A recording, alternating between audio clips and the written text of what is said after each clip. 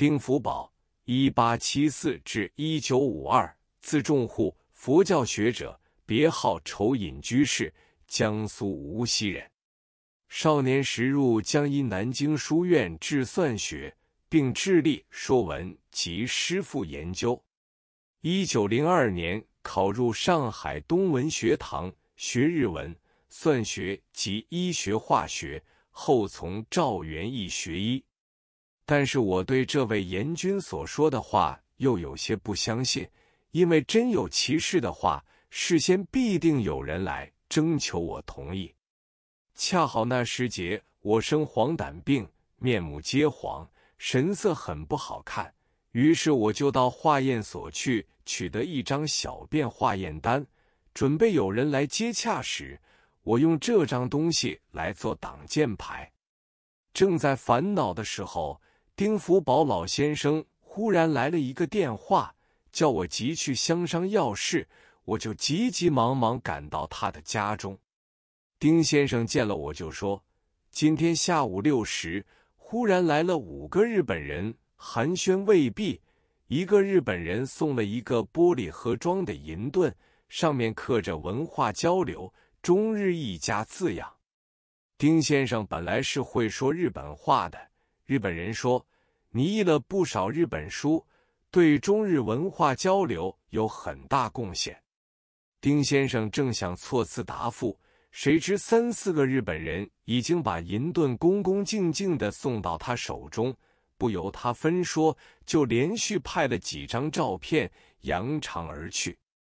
丁先生说完之后，认为这事将来能大能小，要是国民政府有一天收复失地的话，连吃官司都有份。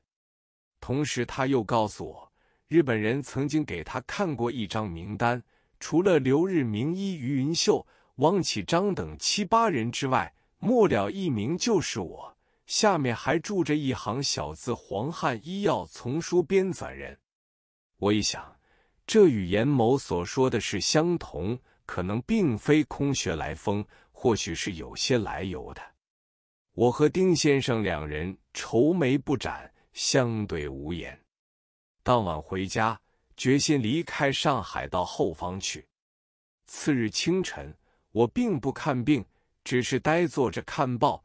打开一张日本人办的《新申报》，果然看见丁福宝先生捧着银盾的图片，还附带一段很长的文章，把丁先生过去留日学医的经过以及医书的成就写得详详细细。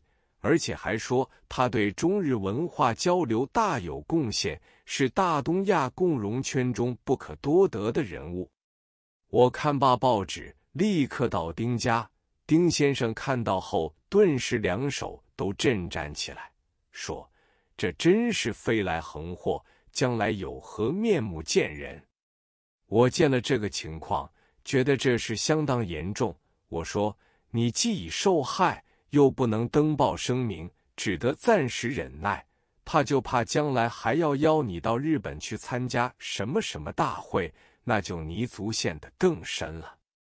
我想你最好把名单中的人一一想出来，邀集一起，共同商量一个对策，再做道理。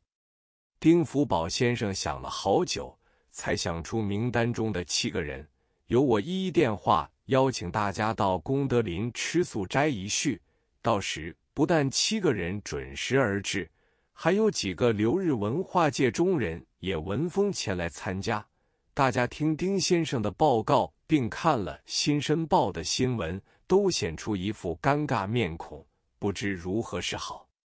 云秀说：“这件事情策动者绝不是日本军人，开名单的不出四个人。”一个是同文书院院长，一个是内山书店的内山完造，一个是自然科学研究所所长中尾万三，还有一个是日本领事馆的文化参赞。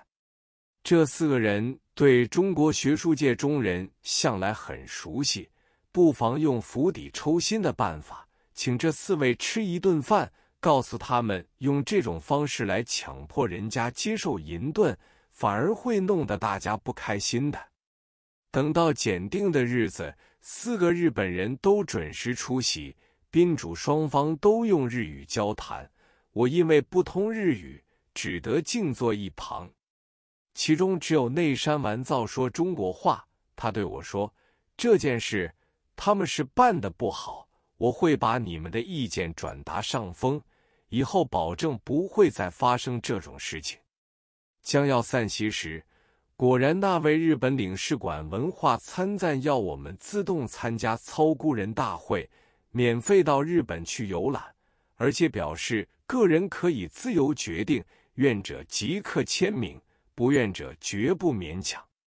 当时签名的只有一个姓陶的，辞去保长黑名单来。我们在敌伪势力之下求生活，老实说，只要洁身自爱，倒也算安定。怕就怕有人动你念头，替你加上一顶抗日分子的帽子，那就麻烦了。我们做医生的，天天开着门静候病人来看病，有许多小喽啰来推销日方和汪派的书报画刊。来的人虽横行霸道，但只要你订阅了一份，也还容易应付。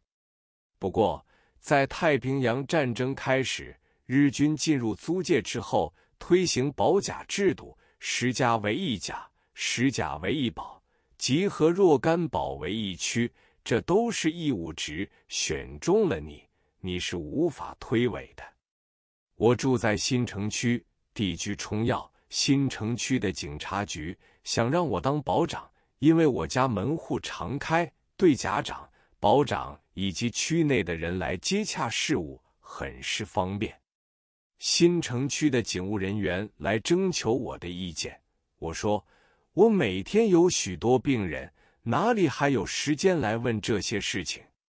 但是来人很客气，说：“你只要顶一个名义，另外用一个人来代替你就可以了。”我说：“最好不要由我担任这个职务。”我这般的态度，来人倒也不以为忤。他说。让我回去和局长商量后再说。那局长还是工部局时代的老人，和我有数面之交。他说要陈村人做保长不大适当，要他常常开会，对他来说很不方便。何况医生是自由职业，在他工作时间，我们是无法强制他的。所以他就把我的名字圈掉，另换别人。我在那个警务人员来访之后，内心十分焦急，认为一座保长，将来这个污点永远洗不清。因此，我走到对门一家很大的堆站，站中有一位郑姓经理，我和他商量。此人年轻活跃，他认为当保长也无所谓，而且还能借此出出风头。况且堆站的办公室很大，职员也很多。倘然作为一个保长办公厅，倒很像样。只是他说，将来怕公事上有往来，叫我写公文，没有一个熟手。我说，我有一个学生姓张，能起稿，又能写得一手好字，可以帮你忙。于是我就向那位局长推荐郑某担任保长，警方也同意了。